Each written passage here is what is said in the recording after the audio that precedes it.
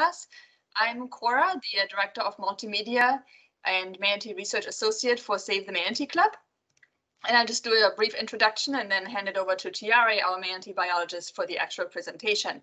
So um, just a couple of housekeeping rules. Um, we are going to take questions after the webinar. So um, you can put them into the Q&A function, which you should be seeing at the top of your screen. So that's easier than putting it in the chat. Um, it's easier for us to monitor that way. And then we'll be taking those questions at the very end of the presentation. Um, also, just maybe as a little bit of an icebreaker, if everyone wants to let us know where they're from, you can type that in the chat, um, just to give us an idea um, who you are, where you're tuning in from. Always fun to see. And then we'll get started with the actual presentation in just about a minute. I'm still admitting some people that are coming in, so I'll be doing that.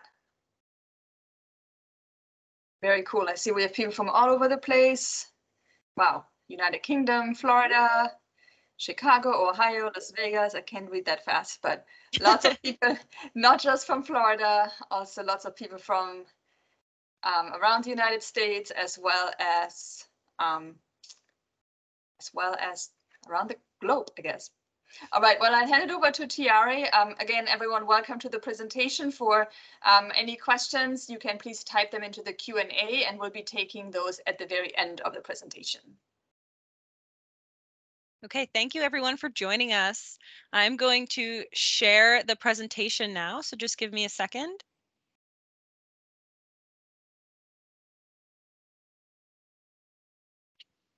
All right, Cora, how does that look? It looks great. I can see your screen. So yeah, perfect. All right, yes, now everybody please put any questions you have in the Q&A section and we will touch on them at the end of the presentation, okay?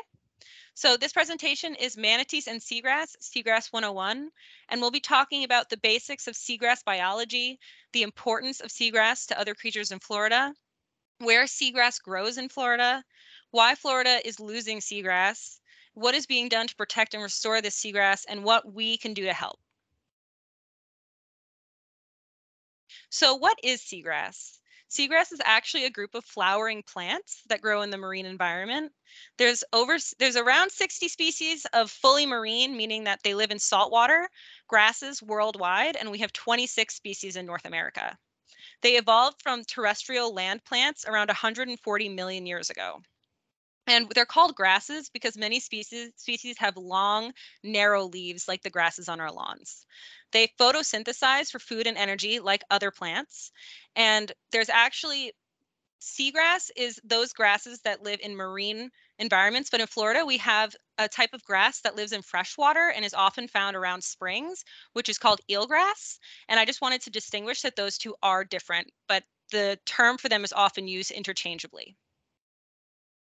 So how do seagrasses grow? Seagrasses are actually connected underneath the sediment. So they grow in soft bottoms like sand. And there's one thick stem that actually connects a lot of different uh, plants together. So you can see here in this diagram, you have different plants coming off of a sheath and the roots go underneath the ground and the leaf blades go up. Um, the plants actually aren't strong enough to support themselves like land plants are, and they're supported by the buoyancy of the water.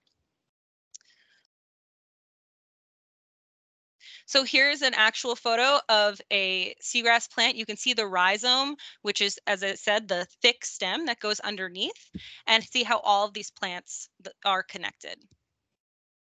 So seagrasses grow both vertically, so going up, and horizontally with the roots growing down and sideways. And they can spread by two methods. They will do asexual cloning. So the way that they grow with a rhizome underneath the sediment is actually asexual because in a big group of seagrass, one giant group can all be one plant and all be genetically the same. And they also have sexual reproduction. They have flowers and actually release pollen. So in this first picture here, you can see this fuzzy stuff here is pollen. And on the photo on the right, you can see this uh, crustacean here. And they actually visit different flowers and it's suspected that they spread the pollen from flower to flower, much like bees do. And there are male and female flowers. And when they release pollen, the pollen will move in the water and land from one, one flower to another. So how do seagrasses grow? They use photosynthesis, as I said. And what does this mean? So photosynthesis is when a plant will take in carbon dioxide and water and use it to create energy with the sun.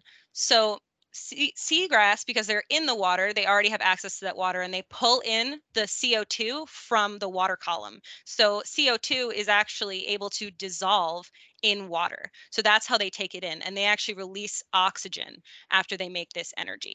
And they use these special cells called chloroplasts, which you can see in this picture here. They actually hold on to the pigments that are needed to make food and energy. So when seagrass grows in large areas, it creates a habitat called a seagrass meadow. And those are considered prairies of the sea because they actually provide a lot of habitat for many different animals. It's one of the most productive ecosystems in the world, and they are an important food source and habitat for many, many species. Who uses seagrass meadows? Worldwide, they provide a home for more than 1,000 species of fish, including commercially important species that we have here, like snapper and grunts. It's also common to see sharks foraging, like this nurse shark here on the right. They also act as a nursery habitat, and a nursery habitat is a habitat that pro provides protection for the younger juveniles in a species. So the smaller ones that would be very easily picked off by bigger creatures can hide inside these grasses. In Florida, the nurseries are for snapper, red drum, spiny lobsters, and snow cra uh, stone crabs. And these species actually can move between the different ecosystems. So we have mangroves, seagrasses, and coral reefs here in Florida, and they're all connected. The young of the species will move between these different habitats. So they're actually all interconnected. So seagrass meadows are, are, are also a primary food source for some species like sea urchins, parrotfish, sea turtles, and manatees. And I'm sure some of you are already aware that sea turtles and manatees love seagrass. So seagrass and manatees. Why is seagrass important for manatees? Well, manatees eat over 60 species of aquatic plants. They're generalist herbivores. They aren't really picky, but seagrass makes up the bulk of their diet. Manatees eat one tenth of their body weight in plants every day.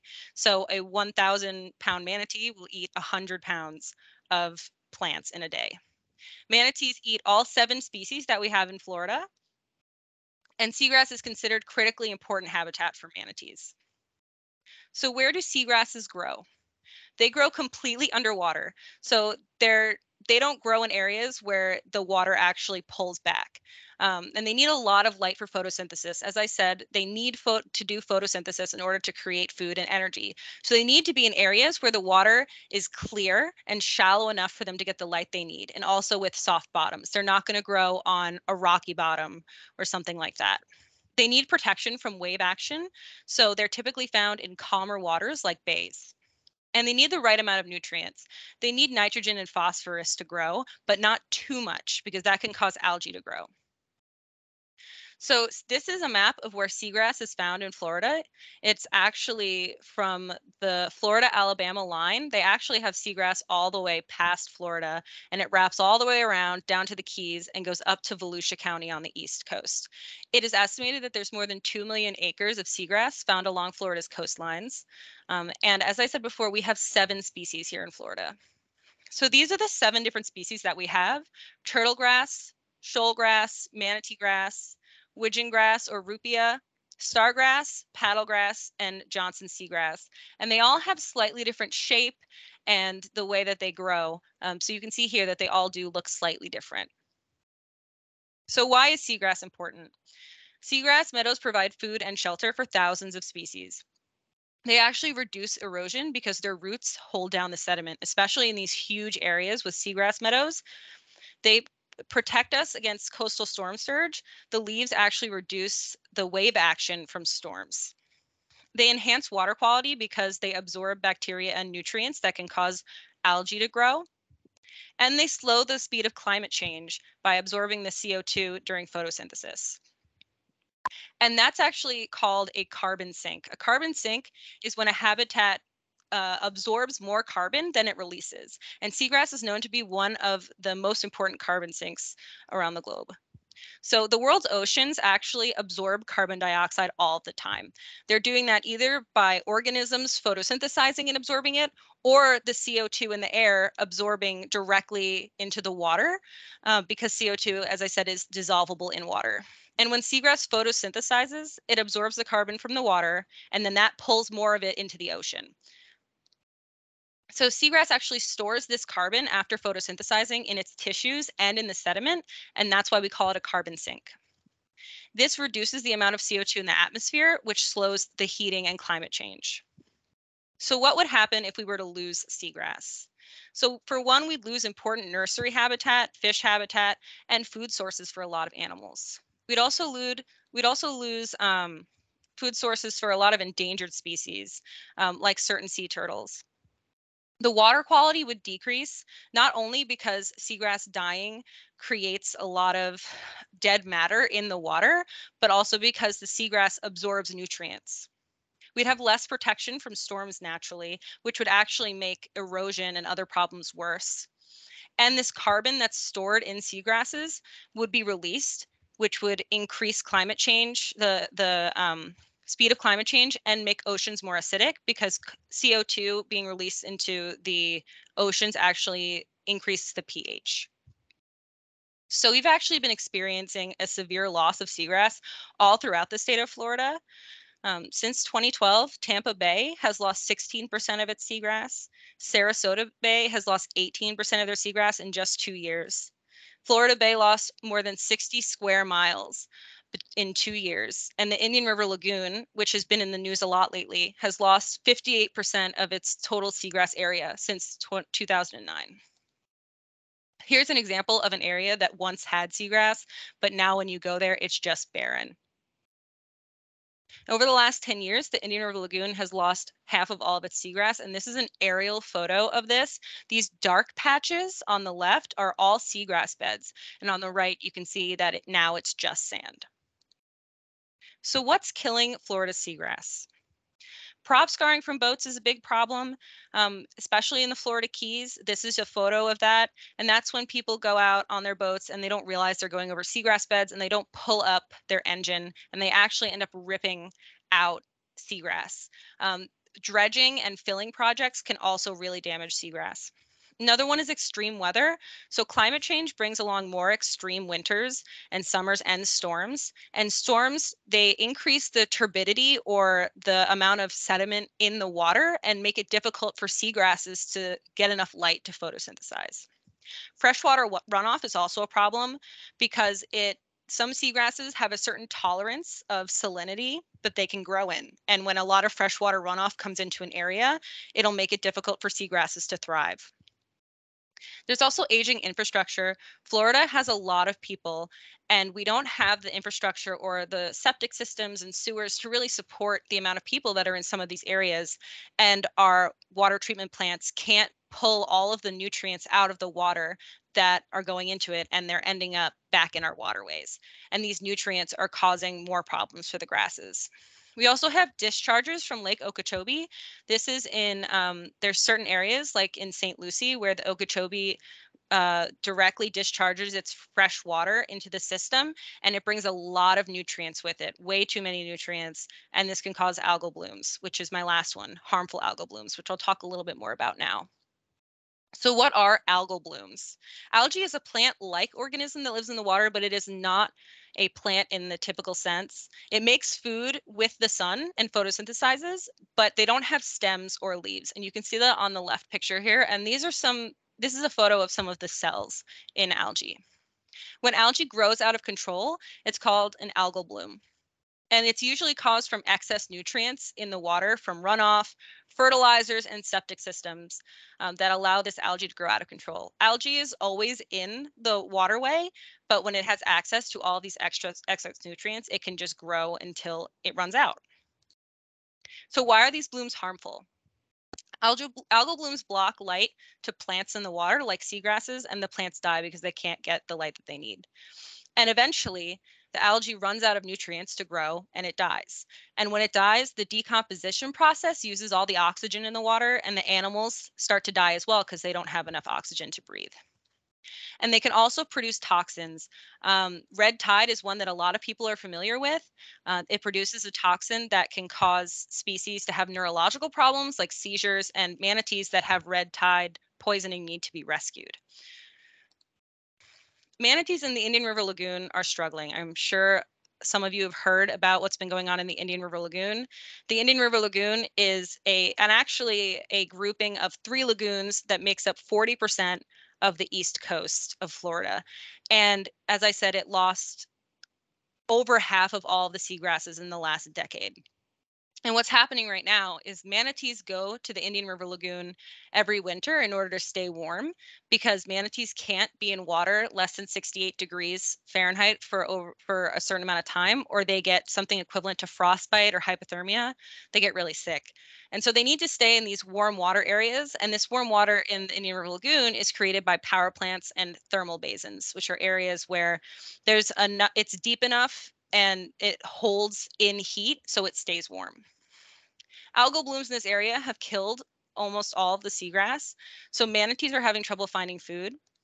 And during the winter, manatees, when they're in these areas, like at the power plant, they can only leave the warm water for a little bit of time in order to go out and find food. And if they get too cold, they can die. So they can't spend a lot of time out looking for food and the food isn't there.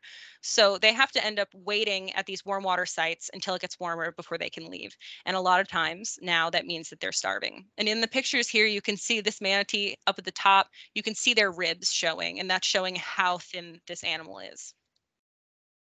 So what's being done to help manatees right now? The Manatee Rescue and Rehabilitation Partnership is made up of nonprofits, agencies, and oceanariums, so zoo and, zoos and aquariums, that are working to rescue, rehab, and release manatees.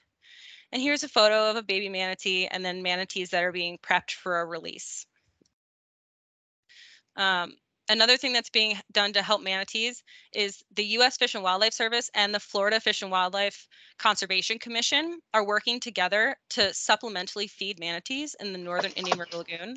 So that means that they're providing enough food for the manatees to get through the winter, but not enough to feed them everything that's been lost because we don't want to encourage them to stay in the same areas after winter is over. And so far, it's been warming up the last couple of weeks. And at one point, there were over 800 manatees in this area, in the feeding area, and now we're down to around 70. So the water is warming up and the manatees are moving out just like we hoped they would. So what else is being done to help manatees?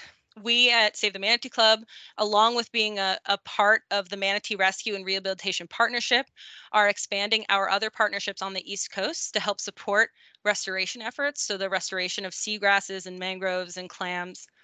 We're continuing to help with the rescues and releases of manatees.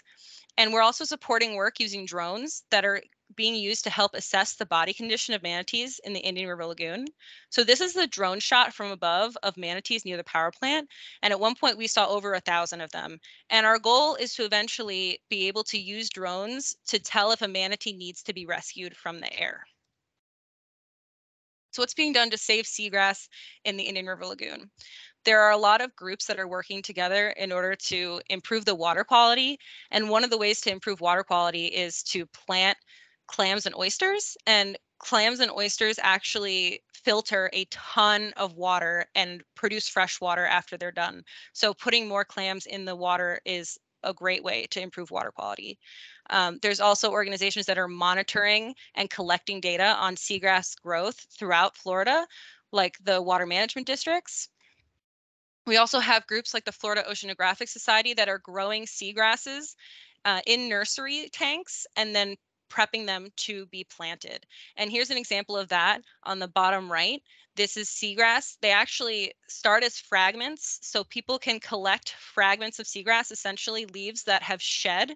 Uh, seasonally, seagrass will shed their leaves like other plants do, and you can find them floating in the water.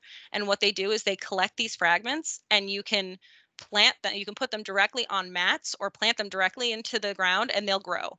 So this is an example of matting where you put them on a mat and then plant them and it helps them hold on better to the sediment. So we also have, uh, the governor has approved $53 million in grants to improve water quality in the Indian River Lagoon. And uh, those grants are going to be used to replace septic tanks and update the wastewater treatment plants, um, which will reduce nutrients entering the lagoon, overall, overall. But that's not something that can happen overnight and it will take time, just like a lot of these restorations projects will. We have also partnered with the Marine Resources Council to bring together seagrass nursery growers, scientists, advocates, and resource managers in the next year or so. And doing so, we're hoping to assist with efforts in seagrass planting and restoration in the Indian River Lagoon. So what can you do to help? Uh, if you live in Florida or anywhere that's close to a waterway, you can use less fertilizer and not fertilize during the rainy season. If you fertilize during the rainy season, most of that fertilizer is actually going to run off right into the waterways. You can be active in your community. So you can volunteer for local restoration events in your area, like clam or seagrass plantings. You can learn if there's local groups collecting seagrass fragments and you can volunteer for Save the Manatee Club. Um, if you're even if you're not in an area where Florida seagrass is, we have opportunities to educate the public through webinars and virtual talks and can spread the message about why seagrass is important.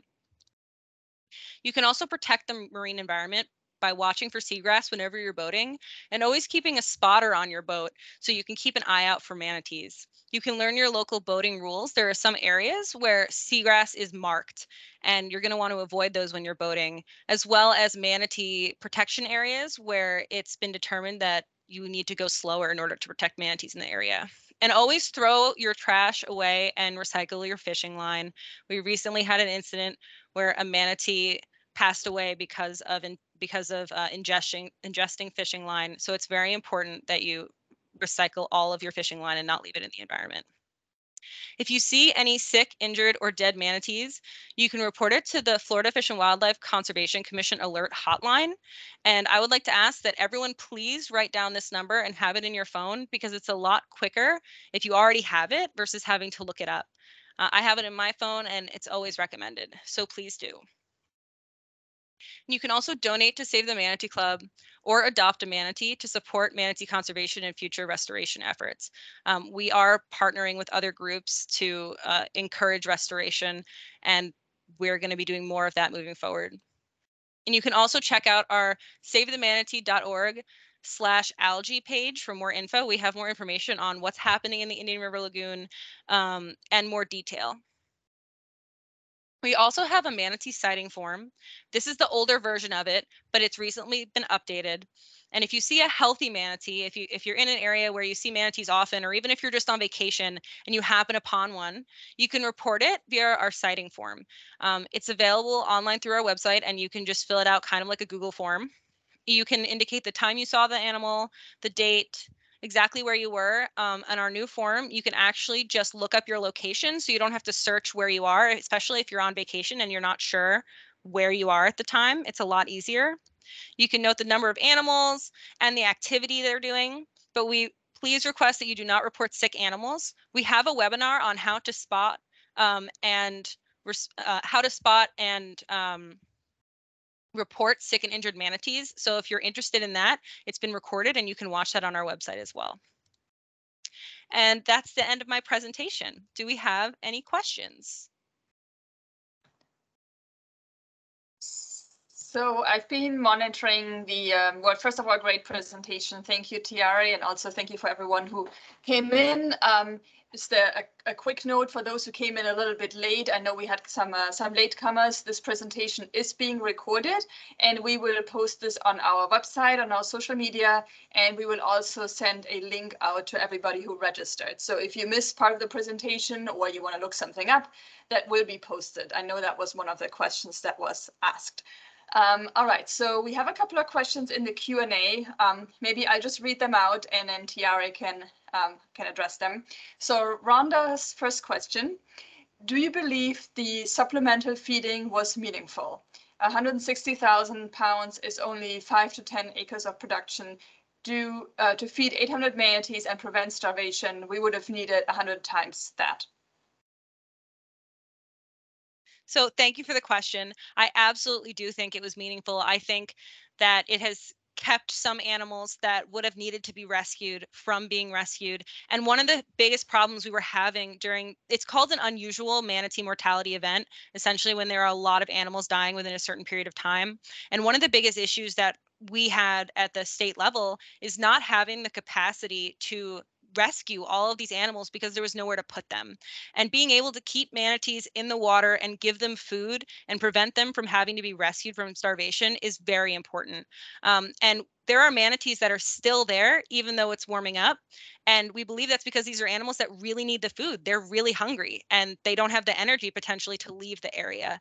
Um, there is no question that without this supplemental feeding, more manatees would have died and needed to be rescued but we do feel that it could have been started sooner but you know it takes a long time to get these things approved especially since it is illegal to feed and water manatees um, under federal law Great. Okay. Um, just a reminder for everybody, if you can please put your questions in the Q&A function because that's what I'm going through right now. I'm also going to go back to the ones that were posted in the chat, but if you could please put them in the Q&A function, that's easier for me to keep track of and hopefully address them in the order that they came in. I've already messed it up, um, but I try to do my best here. If you can just put them in there, that way I can make sure we don't miss any of them.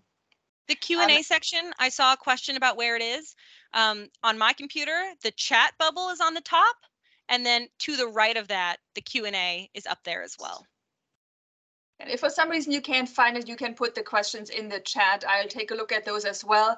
Um, if you are raising your hand, I think some people have raised their hands. If you can just please type your questions, that way we'll make sure we address them because we have everyone muted, so I cannot hear you, but you can type those questions out. All right, so the second question I had um, in this in the Q&A here is, can you compare the impact of herbicides with nutrient, algae, and shading on the reduction of photosynthesis in Florida. So I guess so, how herbicides and nutrients uh, play into that. So there is research is still ongoing as to the effects of herbicides. It is suspected because they don't discriminate when it comes to what they're targeting for that it is causing a problem, but we don't have any standardized data that says how big of a problem it is. But if seagrasses are already being threatened by so many other factors and you add something like herbicides on top of it, it's obviously going to make the problem worse. And there are a lot of people who are going out there now and they're looking for specific herbicides in waterways and in tissues and in plants, but I specifically am not doing that. But I think in the next few years, we might be starting to get some answers. But it's one of those things where because we've had this huge die off, now it's getting more attention than it ever has. So we're still learning. Good answer. So next question was, how long before winter of 2020-21 have we been seeing manatee starvation in the Indian River Lagoon? So winter, it it so we call it manatee season essentially, and it's from around November to the beginning of April. And it really depends on the temperature. Sometimes it's not as cold and sometimes it's colder. And we've been seeing a lot of shifts in what is considered typical weather with climate change in the last couple of years. Like sometimes the cold snaps have been worse and sometimes they haven't. So it's really hard to say. But we know that coming into around the October, November time period when the air starts to get colder, that more and more manatees will be moving to warm water sites around the state, not just in the Indian River Lagoon but a lot of these areas have cameras set up and daily observers looking for manatees. So once they're there, we will know they're there. It won't be a delay. Um, and that's something to keep in mind for this year is will they be doing the feeding trial again? Um, I can't speak to that because I don't work for the FWC, but of course we would like to encourage that if it's is if it's going to save manatee lives while we're waiting for the lagoon to recover, then we encourage it. And just to add a little bit to that, in case you were wondering about timeframes in terms of like, have we seen anything like this before, say in, you know, 2010 or 2015 or something, if you're talking yearly. Um, the first time we really saw the starvation event was really in the winter of 2020, 2021. But how what Tiare explained was that we started seeing these really severe algae blooms after 2010. So 2013, 2015, we had very bad algae blooms. Now, what we need to keep in mind with these blue-green algae blooms or brown algae blooms is that oftentimes the really severe effects are not visible until years after the fact. If you're looking at a red tide, you're immediately seeing dead fish, dead dolphins, dead pelicans, dead manatees. It's an immediate thing, you know, it's in the media, it's in the public's eye. Um, with these other algae blooms in Indian River Lagoon, it really took years for those effects to really show. And that was the problem because it was almost when the wake up call came, it was too late. You know, we already saw hundreds of manatees, and now the system is just so severely degraded that it's going to potentially take decades to fix it. So, um, you know, we didn't see any any major starvation before 2020, but the problem was was coming. And then, um, like Tiare said, um, we definitely want the public to look out for any sick, injured manatees, any manatees that look emaciated, and to report them. Because although the winter is over right now and manatees are migrating away, you may actually now start to see these emaciated animals in other parts of the state, in southern Florida, um, in northern Florida, even in Georgia, or maybe the Carolinas if they make it that far. So it's really important right now to look out for any um, any emaciated or any sick animals because just because they're leaving that warm water side doesn't mean the problem is fixed and they're all, you know, strong and healthy and are doing great. And again, also really important to boat slowly and really watch out for them because they're probably in a much weaker state coming out of this winter right now than they would be in a normal winter. So they're even more prone to, you know, ingesting debris or getting hit by boats. So really important to watch out for these guys. But and it's it's sorry. it's not uncommon for manatees to thin during the winter because they are stuck in these areas where, you know, especially in the last couple of years, even spring areas that would typically have freshwater grasses have lost a lot of that as well. So manatees are used to leaving a cold a warm water area to find food and coming back but that takes a lot of energy. So that is a common thing that manatees do. It's just that manatees are coming to these areas in the indian river lagoon and they're finding nothing you know and that's really the problem. And also the winters are long so a lot of these manatees have been without regular access to food for a long time before they're rescued. And what's happening is that when they are rescued, it's taking them a lot longer than typical to get nursed back to health before they're released. Um, a lot of these animals are also getting tagged because we want to make sure that the next winter comes around that they're still doing all right and that they're not going to need to be rescued again. So we're keeping an eye on them as well. Awesome. All right, I'm going to, um, this is the last question, the Q&A, and I'm going to head over to the chat. So um, how can someone from out of state help? So one way you can help is to donate. Um, all of the donations that we get are go, go directly to the conservation of manatees. There are also other organizations that are doing great work that we're partnering with, um, and you can help support them by getting the word out. Um, we're going to have more about that on our website, but Brevard Zoo, um, the Marine Resources Council, groups on the East Coast that are actively doing restoration, um, you know, they're always looking for people to be interested in what they're doing as well. Um, you can help by volunteering. You don't have to be in Florida to be a volunteer and to help give presentations. There's a lot of schools and libraries and groups that want to know about manatees, but they're not in Florida and they don't even realize that they can get something like that. So if you're really interested in talking with people and, and educating more people, you can absolutely do that as well. Um, and if you do come to Florida on vacation, you know, keeping an eye out for manatees is also important. I know it's been spring break recently, so that's something to keep an eye on that a lot of people are out on the water that some people have never even seen a manatee before. Um, and that's another thing too is if you do come here on vacation to try to become a little educated on the area you're going to be boating in if you rent a boat. Um, if you rent a kayak, to use passive observation, which is essentially not getting too close to the animals because we don't want to disturb their behavior, especially if they're feeding these animals. It takes a lot of energy for them to go out and find food. And when we disturb what they're doing, it can, you know, it can it can cause harmful effects for them as well. And yes, you can sign up for our newsletter and our action alerts online. And all of this information will be provided in the follow-up email to the presentation. Yeah, our action alerts oftentimes have um, um, they're, they're not just Florida specific, but they also ask for people from out of state to, you know, sign certain petitions or submit a letter to to the governor or even a letter to the president, which we have right now. If you go to our action alert page, there's quite a few things that you can do, and you don't have to be in Florida for that. All right, I'm heading over to the chat function right now, so hopefully I'll get everybody addressed. And we have one question from Taylor. Um, I am in Colorado, but I'm visiting in Tampa in early May. Where can I see manatees?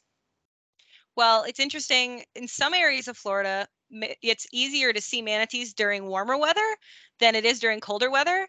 Um, in Tampa, manatees are all throughout the bay.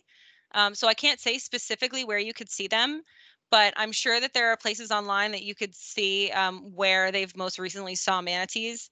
Um, but I can't tell you for certain. I do uh, during the winter, we know for sure where manatees are because they typically go to the same places every winter, like the same warm water sites. But in the summer, they can, a lot of animals go out of state. They'll even go over to Texas or they'll go all the way up, sometimes even to Massachusetts. So it can be hard to say once it's warmer. Yeah, I put a um, link in the chat um, to our website, savethemanatee.org slash viewing. Um, we have a list of places where you can see them. Like Tiare said, the best time to really see them is between November and beginning or middle of March, because that's when they come to these warm water sites. So that's when they really congregate in these large aggregations, and it's pretty predictable that they're going to be there. Now they're dispersing, so it's a little harder to pinpoint um, sort of where to see them. All right, we have a question from Ellen. Um, are there any grassroots or community groups doing mailings or contacting government agencies who have the ability to control large companies who use too much or inappropriate fertilizer? I don't necessarily think they have the ability to control what other companies are doing. The biggest thing that that we can do with advocacy is to get as many people interested, members of the public, interested as possible, um, and have them support, you know, these pro-environmental movements. Um, I think Defenders for Wildlife is is one that does a lot of advocacy and reaching out, um, and we also do as well. Um, but as far as actively controlling what other companies do, that is very difficult. Um, so it really takes people stepping up and a public outcry and saying we're not going to stand for this that really makes the difference. And that's why we have on our website the ability for people to, to sign write a little thing and sign a letter and send it to the governor or our representative because getting the word out is very important. So we also have our um, senior conservation associate Kim Dinkins on the phone um, with us, and she may be able to uh, if she wants to add a little bit to this question. That was a really great answer, Tiare, but I'm just, I want to give Kim the chance if she wants to um to Absolutely. add to that. Yeah, hi. Um, I, I'm sorry I'm late. I wanted to just um, pipe in and say that Florida does have regulations for fertilizer applicators um, in in our regulations, I mean, in our legislation. Um, so there are rules that govern them what ends up happening, there are actually classes and um, continuing education credits that they have to take. Um, what ends up happening oftentimes, though, I think, is that an enforcement side, um, you know, homeowners in Florida want to have green grass. So there's a little bit of pushback um, from sometimes from their clients. And so they puts them in a, little bit of a difficult situation. But like Tiare said, Save the Manatee Club is advocating for str- more stringent um, local ordinances on fertilizers and um, trying to get education out about what individuals can do um, to better protect our waterways. Awesome. Thanks, Kim. Um, I have another question here from Eileen. Um, asking how many years will it take? I assume this is um, in regards to how many years it will take to restore the um, the seagrass or the, the health of the Indian River Lagoon, I assume. Well, there's no way to know for sure. And it really depends on a lot of factors. It depends on how much funding some of these restoration groups can get and how much restoration can be done. It depends on how fast we can get these wastewater treatment plants and septic systems updated in order to reduce the amount of nutrients entering the lagoon. Um, but it's definitely not going to be a quick process and it's not going to be fixed in the next year or two. It would have to be a miracle for things to turn around that quickly and things typically don't. Um, and it's one of those things where a lot of people were aware that there was declining water quality in the lagoon for years, but without a without something to show it was happening, it's really hard to visualize you know that all this grass is being lost and that there's problems with water quality.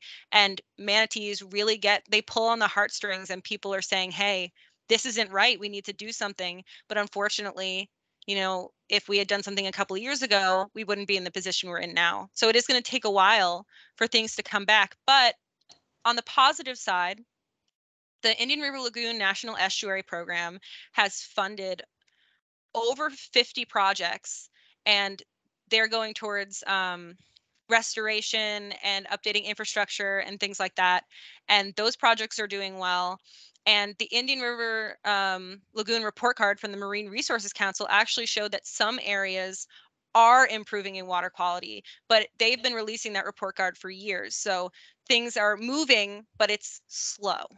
So having more and more people be interested in in these things and pushing for them to get done definitely does make a difference. Because we've already think about how many times this what's been going on in the Indian River Lagoon has been on the news just in the last year, and that's because people are angry, you know, and that makes a difference. Yeah, I have a question here from Lee. I think this has probably been um, sort of answered by now, but I'm going to address it anyway. Um, my question, how will seagrass restoration be feasible in the Indian River Lagoon since A, it has a low success rate normally, and B, the area is polluted. How are these manatees going to be helped absent future feeding trials? So there are areas of the lagoon that are doing better than other areas. And there have been restoration projects. They're actively ongoing and they're doing well. It's just that the Indian River Lagoon is, just for reference, 156 miles long and it's a lot of seagrass that's been lost. But the good thing about seagrass, as I mentioned earlier, is it spreads on its own. If it's able to grow and really set down its roots, it spreads on its own. Um, so once you start planting, if things stay positive, you're going to have continued growth. Um, and we're having this the seagrass assembly one of the purposes of that is to potentially identify more areas where we know seagrass planting will be successful. And there has been success with planting it. One of the main things they're doing here is, like I said, taking these fragments, which are easy to get and free because they're already floating in the water, and just planting them in, in the bottom in these tanks and so it's not like a wasted effort or costing, you know, like an obscene amount of money just to get the plants to grow. But we do need to improve capacity. There aren't a lot of groups that are doing that, that are growing their own seagrass. And that's something that we're looking to help with as well is how can we make this better and and that's one of the things would be to just increase the amount of people that are able to do it and the knowledge have the knowledge out there so more people could do it if they want to Great. Now we have a comment also from Lee, and I can probably talk a little bit about that to give Tiare just a,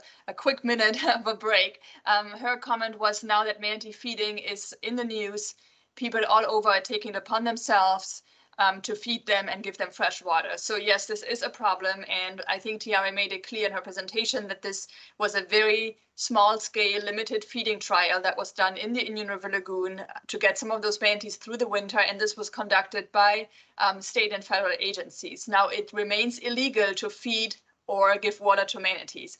And the main reason behind that is because any wildlife that gets fed, including manatees, become very habituated to humans. So they may linger in an area that they really should be migrating out of. They may get habituated to approach people, dogs, and boats. And if they lose their natural fear of boats, for example, it can really put them in harm's way. We have a lot of manatees that come right up to the boat. Um, you know, they hear uh, water dripping down and they um, they associate that with a handout. And then people don't look, they turn on their motor, they turn on the propeller, and yeah, we have the injury. So um, it's it's really not good practice to feed them or give them water. You think you're making a difference in the in the short term, but it, it, it it's really not. And if you get caught, it is a pretty hefty fine. So we just definitely discourage people from doing it. We know people's hearts are in the right place, but that's why there are other opportunities to volunteer your time or your money to um to help manatees that way. And I do so want to say too, that in in for some animals you know if they've been if they've been without food for a very long time it is not good for them to just start eating more food right away. It's it's it's very well known you know in um, rehab that when an animal hasn't had food for a long time their digestive system slows down and doesn't work the way it normally does. And so just providing food to these animals that probably if, if you're at a point where an animal is thin enough, you're like, man, I should be feeding this animal, they probably need to be rescued. Um, or at least have an eye kept on them by an FWC biologist. But if you just feed them and they go on their way, well, now we'll never know where did they go? How are they doing? That information is lost because we don't have it. So it's important to let the authorities know if you see an animal that looks like it's in distress. Yes absolutely. Um, so I have two questions that might be um, pretty well suited for Kim because she is very um, up to date on, on our lawsuit as well as water quality issues. So um, I'm going to see if maybe she would be able to, to answer them. The first one we have here from Rhonda um, asking, can you talk about your lawsuit, the statutes, plaintiffs, who in Florida is actually responsible for enforcing, for enforcing water quality? Okay. Um, yeah, so in Florida, the Department of Environmental Protection is um, mandated with protecting water quality, um, but those um, they they have a total maximum daily load program that establishes amount of nutrients that can go into a certain water body, um, and then they develop basin management action plans. But the so the actual actions that have to be taken to protect the water quality typically fall to local governments, um, and so that process is, takes a long time and it also costs a lot of money. So um, that's where some of that that rub has been is in the enforcement of those total maximum daily loads and the basin management action plans. Um, as far as our lawsuits go, at the federal level, um, and I'll back up a little bit and say that even though the Department of Environmental Protection is in charge of water quality, ultimately it's the um, Environmental Protection Agency at the federal level that delegates that responsibility to the state. So um, I was um, really interested to learn when I first came on board that there there is a nexus between the Clean Water Act, um, which EPA administers, and the um, Endangered Species Act, which the Fish and Wildlife Service administers for um, manatees. And our lawsuit basically is um, it is asking the Fish and Wildlife Service to establish critical habitat and define it as uh, the biological uh, with the biological indicators that support manatees. Right now, it's just basically a geographic area. So our thought is that if that happens, then we can um, further protect water quality to ensure that manatees are protected into the long term. So that's that's. I hope that answers the question about the lawsuit.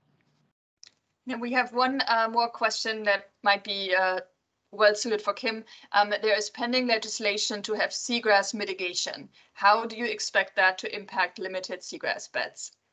Yeah, um, that legislation was um, not passed in Florida. We were not supportive of that. What it really was, um, I think it was one of those other well-intended um, but not well thought out uh, programs. It was really intended to allow degradation of um, seagrass beds in certain areas and then mitigate on public lands. Um, and so our thought is a uh, it sounds like the folks in the room know that um, seagrass mitigation isn't entirely successful and so you're taking a you know a known seagrass meadow and losing it for the possibility that it might happen somewhere else. Um, so we were not supportive of that and thankfully uh, it didn't pass in this legislative session and we're looking forward to working with those uh, sponsors on better legislation moving forward Perfect. Okay, great. Um, we just have a couple more questions. What somebody's pointing out, um, if you have an Amazon account, you can choose Save the Manatee Club as your Amazon Smile charity of choice. Yes, you can do that. You go to smileamazon.com. We are registered with them, and um, that is definitely a, a, good way to help. Um, we also we so we have two more questions here. One, um, will SMC advocate for more nutritious food like hyacinth, hydrilla, or water lettuce? And I assume that's in uh, in regard to the to the uh, to the feeding trial in the uh, Indian River Lagoon. So that is a there's a big misconception out there right now that the lettuce that is being provided to the manatees at for this supplemental feeding is not nutritious and that is not true. While it is possible to provide these invasive species for manatees and they do eat them. The good thing about providing lettuce is one, and I, I've spoken to someone with FWC, they talked with vets at the other aquariums and zoos about what to feed them. And lettuce is actually the easiest to digest for manatees that are sick. It has a ton of nutrients and it's very easy to digest. And these animals that are being rescued are very sick. And the ones too that are feeding at the power plant, a lot of them, you know, need these nutrients quickly. Um, it's also easy to control everything about the production of the lettuce. You know where it comes from, who's making it, you know, all of those things from A to B. It's controllable and it reduces a lot of things that could go wrong by providing it. And it's also, we know that there is an unlimited amount that is able to be provided versus having to physically go out and collect all of these species from the water and then do you have to you know do you have to separately clean them like what is the whole process it's very that's very difficult versus something that we already make for humans it's human grade and providing it to manatees and they're even given that in captivity and it is healthy for them. So it is a big misconception that they're not being provided the food that is nutritious. They are. Um, so we don't have a problem with them being provided lettuce.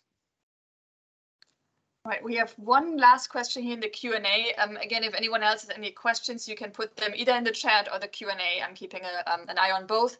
And for those who signed in um, a little late, we are going to, uh, we recorded this presentation or we will be posting that on our website and our social media. And those who, um, you know, if you registered via email, you will also get an email with the link.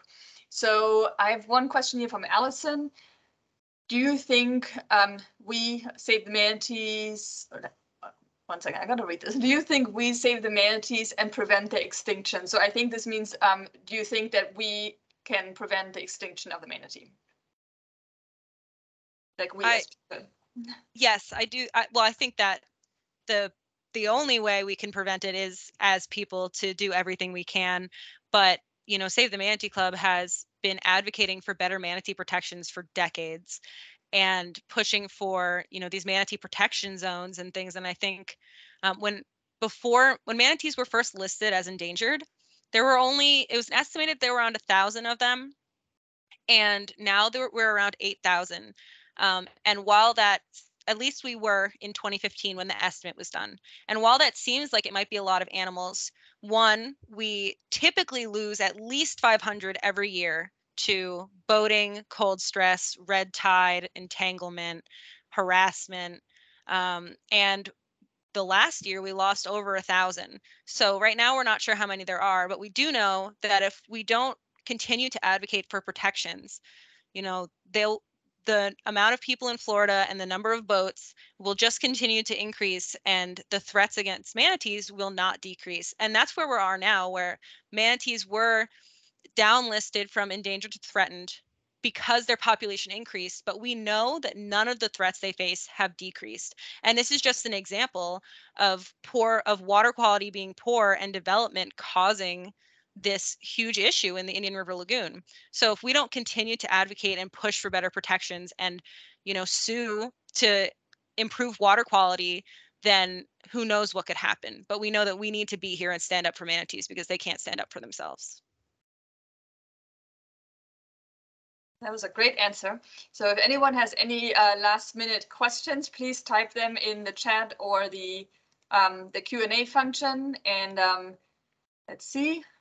I just saw that someone said they saw a manatee today, and that would be great if you could fill out our online form and submit any pictures or any information that you have because we collect data from all over the state about where we're seeing these animals and it's actually used to help um, advocate for better protections if we you know if the fwc says we need data to prove manatees are here in order for us to make a change we have it you know, but only because people submit their sightings data to us. So if you please go ahead and submit that, definitely would be appreciated.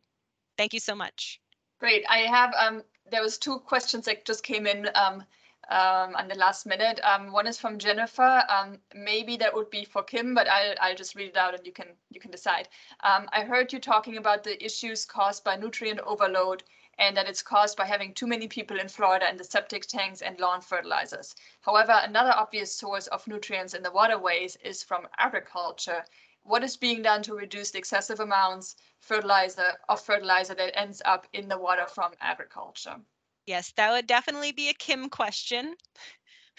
yeah, um, in Florida, we uh, the Department of Ag and Consumer Services uh, administers a best management best management practices program. And any commercial producer that's in an impaired water body watershed is supposed to um, enroll the issue with that program, which sounds great on paper and really has had a lot of uh, money and uh, expertise applied toward it, is that it's not implemented well. So, in the Indian River Lagoon, for example, only about 6% of agricultural producers are enrolled in the BMP program, um, which is one of the major issues that Save the Manatee Club has with Florida's um, water quality um, implementation. so that was a good question. Yeah, agriculture, uh, you know, they, they've come a long way, like everybody has, but there's still a long way to go, and that's really our our biggest push is making holding folks accountable for being implementing what can be implemented. Yes, and, and that's one of the so another thing that we've done is um, the basin management action plans that are used to determine you know how much nutrients can be put into a system um, a few of them were being passed, and we didn't agree that it was being done the right way, and we challenged those. And um, so that's another thing that we're doing is if we see, you know, these laws that potentially could harm our waterways or plans being pushed that we think don't have the best science backing them, we will push against that and say, hey, you know, this needs to be reviewed or that shouldn't pass. And um, having people behind us who agree is very important. Um, okay, five minutes left in our scheduled meeting. Okay, I have two more questions that I'm going to do. The first one is pretty simple. How many uh, manatees were rescued this winter? And I actually just pulled up the statistics uh, while Tiare and Kim were talking. Um, so 41 manatees have been rescued so far. That's from the beginning of the year until March 18th. Um, that's overall, that's throughout the entire state. That is a pretty high number already. Um, last year, I believe, um, throughout the entire year, there were over 150 manatees that were rescued. Again, a very, very high number. And I'm also keeping in mind a lot of them are orphaned calves, which, um, you know, take a lot of time to rehabilitate once they are being brought into a rehabilitation facility. So um, if you want any more information on those statistics, they're available online. FWC publishes them every week, so you can look at the both the rescue and the mortality statistics. Um, where's the place to document seeing manatees? That was the um, sighting form that Tiare put in her presentation. I'm going to type that into the. Oh, I got it. Oh, she got it. I just I just copied it. I will it. Okay. put it in the chat. SaveTheManatee.org slash sightings. Um, and then we have one last question here from Jennifer. Um, another question I have is about herbicides that are sprayed by FWC. Don't they also contribute to the problem with the seagrass die-off? So as I was saying earlier, we aren't for sure, um, we don't know for sure that herbicides are directly affecting seagrasses, but it is suspected. Um, one of the biggest things right now with the spraying is we're actually asking a lot of these agencies not to spray because it impacts these invasive species. And while, you know, it's good to make sure the waterways are navigable. Manatees eat these species, and in areas where seagrass is being lost, it's important to leave any vegetation that manatees will eat because they'll eat it for free. You know, versus spending all this money to spray it or mechanically get rid of it, manatees will eat it. So we're in general not advocating for spraying um, and we've been having meetings and talking more about that. Um, so that's something we're going to be pushing more for this year as well. And also keeping in mind there are certain areas already that are protected. For example, Blue Spring State Park, there is a moratorium area that is in effect between October and March. Now that's in the St. Johns River. It's not connected to the seagrasses, but that's actually an area where no spraying or any sort of vegetation removal is allowed to happen in that time frame. And we're having regular meetings with different agencies to go over that moratorium, see if it needs to be extended, if additional areas need to be added. So it's really important to, to realize there are certain areas in place where no spraying or no vegetation removal is allowed during winter time. So there is sufficient food sources available for manatees. Um, all right, when is the next manatee forum? Um, I am not sure. Yeah, that's what I was going to say as well. Can't tell you at this moment in time. Um, but I'm, if you're aware of the Manatee Forum, then I would reach out to whoever you usually reach out to for that.